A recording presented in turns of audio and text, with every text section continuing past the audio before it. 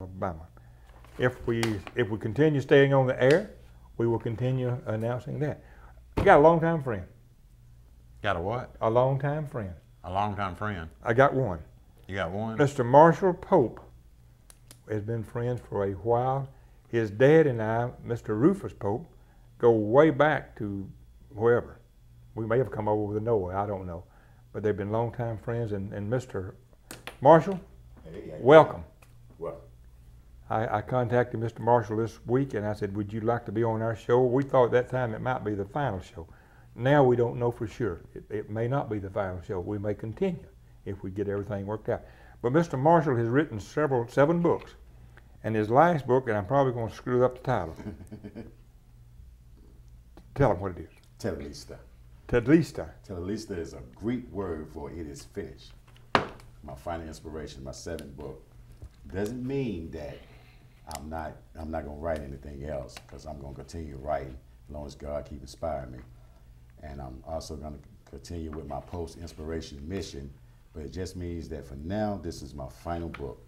I, I made a promise to God that I was gonna write seven books and that's exactly what I've done. I wrote seven books. Now, July the 9th, my son was killed. Devastating. Aldrich Gary Pope. It rocked our whole world. But I want to say a special thanks to Detective Williamson. He promised my wife and I justice, and he truly kept his word. The killer was apprehended and arrested. And uh, I don't know all the details, you know, to what happened. I just heard it was a fight and it ended with my son being shot in the back. But we're still reeling from that and still coming back from that. And, uh, and this book almost did not get released because of that. But I felt my, I felt my son would want me to continue inspiring people, even though he's not here. You know, and, and dealing with the pain inspired me to continue writing also. And, and our Heavenly Father allowed my son to speak through my pen to give my wife and I alone with his baby sister Chantel a little comfort. I really felt my son's spirit as I wrote this poem, and I'm gonna, and I'm gonna recite it. My son speaks. From heaven, my son speaks through my pen and says, Pop, don't worry, I made it in. Tell mom it's nothing she could have done. It was already written, my life would end. I was told I would be betrayed by the angel Gabriel as his word became my final post. Despite my early demise, stay positive, mama and pop, because one day soon I would see sister and you both. I felt no pain from the bullets because the archangel Michael shielded me. He who throw rocks and hide his hands will be exposed because in due season God will reveal who killed me. In my 23 years, I enjoyed every moment to the fullest of my borrowed time.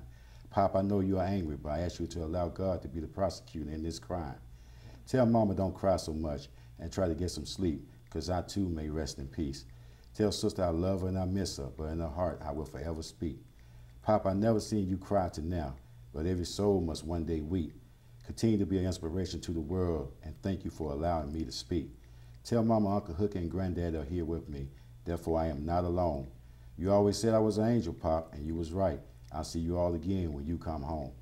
I love you, Mama, and sister, and smiled at how many pretend they love me.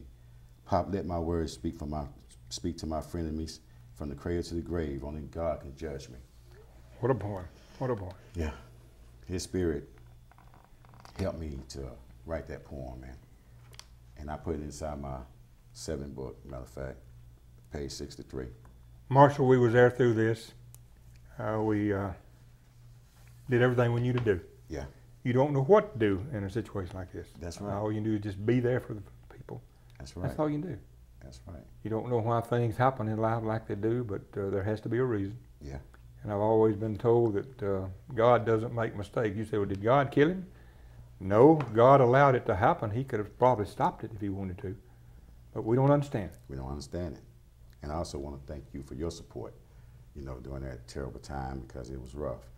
You know, for my wife and, and my whole family, we want to thank you. You was, you was wonderful. You've been our friend. Yeah. I appreciate you taking time to be with us tonight. Any anything you'd like to share with the people about? If you'd like, right quick, tell them this camera right here. Your other name of your other books. If you uh, remember right offhand. Uh-huh. Struggles of Love. Who am I? Is my life story and Invisible Shackles, and and Blind Faith and Teardrops of Inspiration, and Tetelestai, my final inspiration.